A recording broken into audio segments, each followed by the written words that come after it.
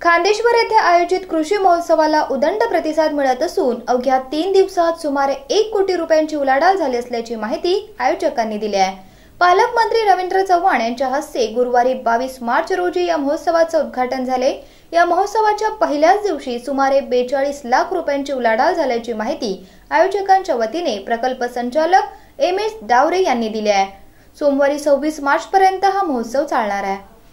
कृषी विभाग प्रकल्प संचालक रायगड जिल्हा ग्रामीण विकास यंत्रणा व जिल्हा परिषद रायगड यांच्या वतीने बावीस ते सव्वीस मार्च दरम्यान खांदेश्वर रेल्वे स्टेशन नजीक असलेल्या सिडकोच्या भव्य मैदानावर रायगड जिल्हा कृषी महोत्सवाचं आयोजन करण्यात आलं आहे या महोत्सवाच्या दुसऱ्या दिवशी खरेदीदार विक्रेते संमेलन झाले. या संमेलनात त्या त्या क्षेत्रातील तज्ज्ञांनी मार्गदर्शन केले. यानंतर सर्व खरेदीदारांनी शेतमालाची पाहणी केली. त्यामध्ये मसळा तालुक्यातील मशरूम उत्पादनाची सौदागर ग्रो इंडस्ट्रीज मुंबईचे संदेश गायकवाड यांनी खरेदीबाबत करार करण्याविषयी चर्चा केली. शेवटी प्रकल्प उपसंचालक डी एस चव्हाण रायगड यांनी आभार मानले. या महोत्सवात शनिवारी झालेल्या परिसंवादामध्ये सगुणाभात तंत्रज्ञान आणि शेत तलावातील मत्स्यशेती याविषयी तज्ज्ञांनी मार्गदर्शन केले.